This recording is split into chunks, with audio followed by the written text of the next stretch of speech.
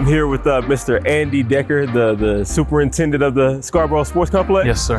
How you doing today? I'm doing good. How are you doing? I'm good. It's, it's a beautiful, bright day. Not too hot yet. Right, so we got to get this done quick, right? Yes, sir. Huge facility behind us, but what are we going to see today? When you come in it's Momentum Bank Ballpark, it's the baseball field, minor A double affiliate for the Oakland A's, the Midland Rockhounds play at. And then we have on the outside four auxiliary fields that are used for youth sports and adult recreational sports. And then the big thing for the football community out in West Texas is Grande Communication Stadium, where we have Field Turf has provided us with their turf, and it's uh, the cool system on the field. With this stadium, we can get anywhere from five to 12,000 people on a Friday night just for a high school football game. Woo! What is that experience like? Crowds are usually pretty into the game. You get the bands, cheer sections, all that going. Kids are playing their hearts out. It's usually a great environment out here. Are there any other complexes in the area that kind of compare to it? There are fields in the area, but as far as an overall complex, it has all this to offer with the baseball and the auxiliary fields. This is the one spot. We've made it to the, the crown jewel of the sports complex, right? This is Grande Communication Stadium. For primarily high school football stadium, it's pretty large. Maximum capacity uh, in the seating is uh, 14,000.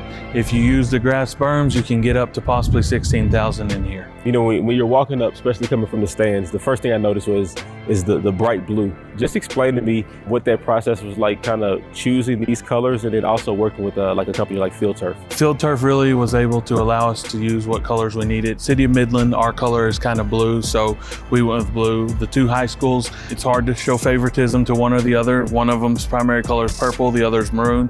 So we went with our color blue. We like the way it pops with the green. The end zones, if you've seen them, they have the city's logo on them. That was the decision made, but Field Turf made it really easy to accomplish that goal. Now, one thing we were kind of talking about before, I mean, we are in, in West Texas. It gets pretty warm out here. The use of the green pellets in the turf I'm used to seeing the, you know, the, the, the, black. That is field turf. They do what they call the cool play system. That's the green pellets. It is to help with the heat on the field. Mm -hmm. So the black pellets, it just puts off a little more heat than the green do. Mm -hmm. So it makes it more comfortable for the players and the coaches. Hopefully we don't run into dehydration situations because of the heat coming off the field with that. Obviously the football team uh, plays here at this stadium.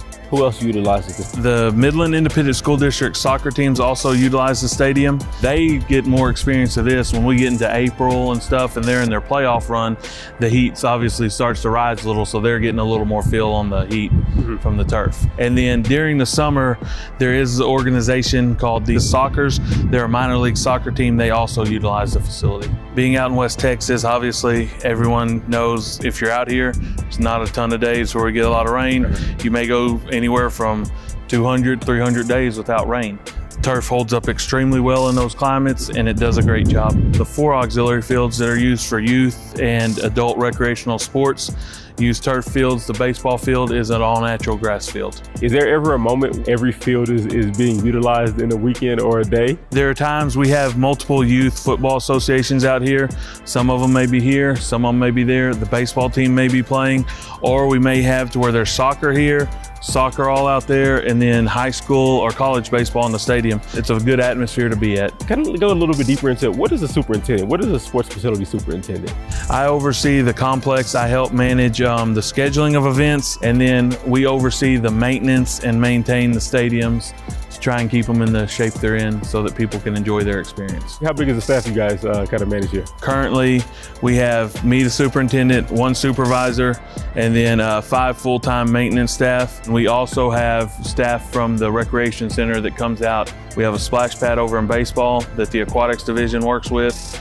We have to have help on the bigger events to help get the facility ready for the next one. We pulled up and the first thing I noticed is the rock. What's the significance? Back in 2000, when they were excavating and building the stadium, as you can see, if you go in, the field is sank down. It's not at level with us.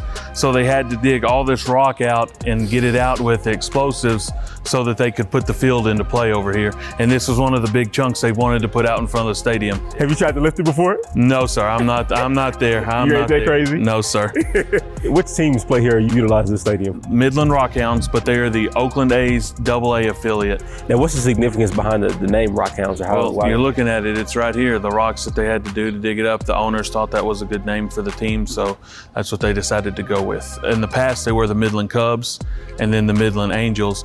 So if they name themselves the Midland uh, Rock Hounds, if the A's decide to go to another Double A and we get another team, they will always be the Rock Hounds. What year was this this whole facility built? The starting was in 2000. The stadium opened in 2001. The project itself usually takes a few years. You have to acquire land, get permits, get pre-work done as far as scoping on what you're going to do with the work. One of the steps you kind of mentioned in the stadium building process is the acquiring land. Now, what is the significance of how the land was, you know, kind of purchased for, for this facility? Out here for the entire complex, the Scharbauer family donated the land to the city to use to build this for it to be a sports use complex. They did a great favor for the community. As we were driving up, you kind of mentioned that Saturdays, youth football is crazy. 2,000, 3,000 plus parents around the field. Talk about that atmosphere. A few years before they get to Friday Night Lights, everyone's got to get to playing time in. They take it so serious, youth football out here in West Texas.